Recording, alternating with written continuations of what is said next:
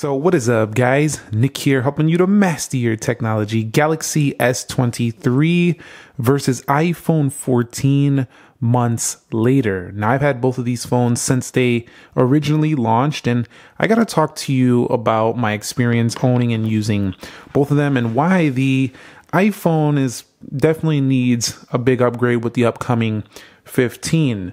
We're going to begin by talking about the value for money. So the Samsung Galaxy S23 right now can be found at prices that are much lower than, you know, certain iPhone 14 models. But the S23 already for 529 on eBay.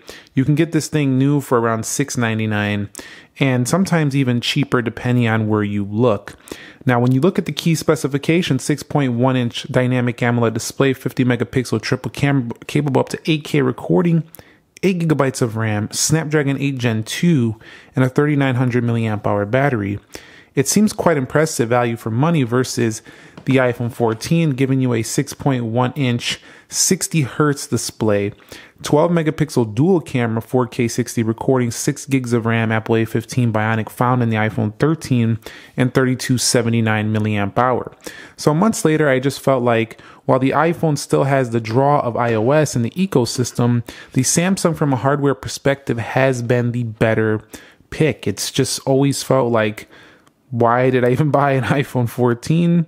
You know, it, it's time that Apple really gives us another strong value offering at the base level iPhone 15. I'm really excited to see what they're going to do with that model. Now, from a build and design perspective, the S23 has also been the better option. Here's why. The edges are a little bit more comfortable. While they're both kind of this squared look, the S23 actually has more of a curved edge. And while not as smooth as the S21 models, for example, or even, well, the S22 is pretty similar, but the S21 models, the the edges are just a little smoother than the iPhone 14, which are a little sharper. I find the iPhone 14 models a little bit less ergonomic than things like an iPhone 11, for example. Although they are industrial looking with their squared edges, the S23 actually comes in at a thinner look here, and even the cameras are quite flush on the S23, and it feels like it's just a little bit smaller to hold than the iPhone 14. So I feel like Samsung is beating Apple at their own game here with the uh, Galaxy S23. Um, so for me, the S23 is the better body. It's the better feel in hand. It's a little bit more ergonomic and a little bit more comfortable day to day for sure. At this price point, months later, the iPhone 14 feels like a heavier iPhone 12. That's about it. And from a durability standpoint, they both have IP68. But what I like about the S23 is that it has more of that iPhone 14 Pro like feel with the matte textured glass. It is an aluminum frame, which is more reminiscent of an iPhone 14, but at the same time, it kind of looks like stainless steel. So, in my opinion, the S23 actually feels more like an iPhone 14 Pro competitor than to this phone, which has the older glass feel, which Samsung had on like the S21. And then over here, you'll find the aluminum rails that are matte, which I do like because they stay clean at the same time. They definitely don't look quite as premium as iPhones have been having these this kind of look for several years when it comes to just the bill of materials. And when it comes to the display, I think the Samsung wins it here, even though the iPhone does have a technically higher pixels per inch. Let me explain why. The punch hole is much less obtrusive than this massive notch right here. In addition to that, you'll see we do have thinner looking bezels across the display, giving the impression that you have more screen the bezels are quite thin here on the iPhone 14, but they're still definitely a little bit thicker looking than the uh, Galaxy S23. Now, the S23 also has a higher peak brightness. Now, I would argue that a peak brightness is more important than having a few more pixels per inch on a density um, scale. So, if we go over here to display and you put an adaptive motion smoothness, we also have a 120 hertz panel versus a 60 hertz, which is not only smoother but brighter. So the actual experience of using this phone is better than the 14. You do have a natural mode, which kind of kind of match up to an iPhone look as well. If you need that less vivid look, but when you throw it in the vivid mode, it's also more punchy and more saturated than what you'll find on the iPhone over there. So the Samsung Galaxy S23, in my take, has the better display. It's just it's more enjoyable. It's more colorful, brighter. Now the iPhone still has a good display, but they need to make some upgrades to the motion smoothness on the next base model iPhone. Maybe even consider going to Dynamic Island to give it a more of a fresher feel because this notch and this same display since iPhone 10 basically, or well, let's not go back that far. iPhone 12, same display since iPhone 12. It's just not cutting it in terms of being impressive anymore. So let's talk about software. I feel like this is the only really strong suit um, for the iPhone here in this comparison. And that's because it doesn't matter what Samsung does, it doesn't matter what other companies do. You know, software, unless you're a tech fan and you're willing to try other platforms, which not everyone is, the main draw that keeps people here on this iPhone, no matter what, is going to be iOS. So doesn't matter if they bring out more hardware on the left. iOS is the draw here, but the software is a big improvement over years past on the Samsung phone in that it's finally very fast and smooth and basically lag free, even while containing all of these advanced features that you typically don't find on the iPhone over here, including things like Samsung DeX, which turn your phone into a computer. Not only that, you know, we can't even get split screen on a Max iPhone, but we can do all this pop view stuff here and all these multitasking abilities on a 6.1 inch Samsung. That's pretty embarrassing for the Apple side. But I will tell you from a customization standpoint, you can definitely do a lot here. Um, but what I really think about this in 2023 at this point is that you now have the ability to keep it simple with just the one UI interface and never really customize, or you can dive really deep and you have a polished customization experience if you use the Galaxy Theme Store. Now on the iPhone 14, you have the app library and you do have, you know, some widgets, grid of icons, which is simple and I feel like this software just fades into the background of your life. Once you get used to it, it's just kind of like an appliance. It just works. It's just there. Whereas a Samsung can do the same thing. It just works, but when you get bored, you have a little bit more fun you could have with the Galaxy. So if you're open minded to try the One UI, I think right now uh, between these two, this is the more fun phone.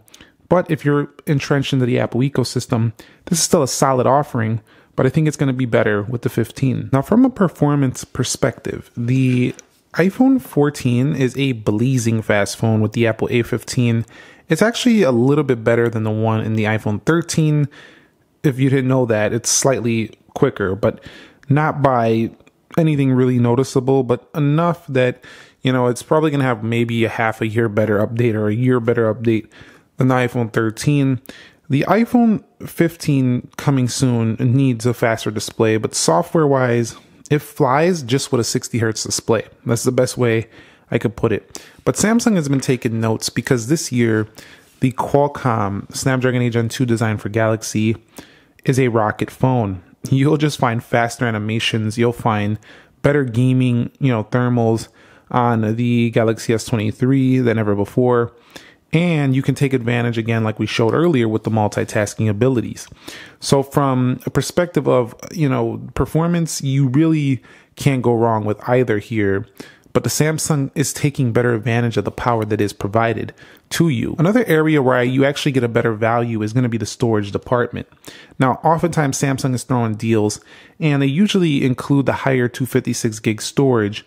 Um, the iPhone gives you 128 gig. So you're going to pay usually for 128 gig the same price as you pay for 256 gig on the Samsung. And I don't know about you, but in 2023, we are massively filling up the storage game pretty quickly with all the pictures and videos we take. So I'll take the more storage. So the Samsung definitely wins it out and having a little bit more storage as well. All right, so from a per camera perspective, we do have a triple camera on board here. We're to go ahead and take a picture of this Google Pixel tablet box. I will be reviewing this on the More Nick Ackerman channel soon, still testing it out. But let's go ahead and take a picture here as well on the iPhone. So from just generally taking photos, you're going to win it out on neither. It's just going to come down to personal preference. I think at this point we kind of know what Samsung versus iPhone photos look like. Um, it's pretty much the same here. Let's get up out of here. Hold on. And th throw that thing in the rotate. It's really just going to come down to what kind of style you like more. Now, personally, I do like the Samsung's, you know, feature set. It's really good. It has a lot of easy to use features like the aspect ratios. Everything is front and center. And if you go over here to more, they have a lot of fun fun modes. Like specifically, I like the food mode for when you're taking those foodies. And then if you go over here to more, you have now expert raw pro videos and director's view portrait videos. There's a lot you can do to really take full advantage of the camera. And it's also pretty customize, customizable. Sorry, you can go ahead and bring it. And these modes are pretty customizable. So if I grab, you know, a portrait mode, for example, I can bring it down there and then you can kind of just put the camera modes you want down there. Now, one of the big draws here too is that, you know, you get 8K video on this phone. That's pretty insane for the money. I mean, if you want to do it, you know, that's that's future proofed right there. In addition to that, you do have that telephoto zooming lens, which really just steps all over the iPhone 14. Now, they have their super steady on the iPhone or on the Samsung, but Apple brings an action mode, which is huge if you're going to be doing GoPro like footage on here. Definitely a draw to this phone. Great photos and excellent video support.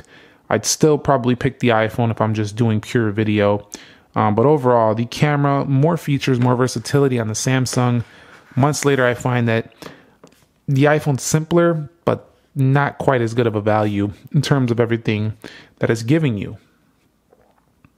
Now, the front facing cameras, those are also quite good, and Samsung pictures are starting to look a little bit better when it comes to social media. You can back it out here, no problem. And then you have a pretty sharp video quality on the front up to U- UHD 60. Now, on the iPhone, I still like the way iPhone photos look on the front. They're just bar none some of the best out there. And then video also looks amazing on the front. So again, with the video, again, if I'm matching up video, I probably would still pick the iPhone 14 if I'm using my phone for mainly video. But you could see I'm using a real camera. But for those of you out there relying on your phone for video, I think the video editing apps are better on iPhone, and I think the front-facing camera is a little bit better for video. So the Samsung doesn't have crash detection and you know all those things that they brought with the SOS. That is a plus for the iPhone. But from a reception standpoint, they still have better signal, better 5G performance. Not by a ton, just a little bit. I found it's just a little bit better with holding the full strength of bars day to day, but phone call quality is pretty good on both. Some people have said that they have iPhones and they can't get signal in rural areas. I'm able to get it, but it's still not quite as good as the one on the Samsung. So, this is why I think in almost every area, the Samsung has been a better value months later. I really like the iPhone 14, but I think most people don't like it because in their mindset, they're comparing it to last year. This phone on its own from somebody who's coming from an older iPhone is a great, great iPhone. But for people who had an iPhone 13, 12, or watched the channel, they know about the recent iPhones. This phone is just boring and it's been talked about since it came out. Um, people have been saying how much they don't really care about it, and they've even shown it um, with not purchasing it. The Samsung, though, has been the complete opposite.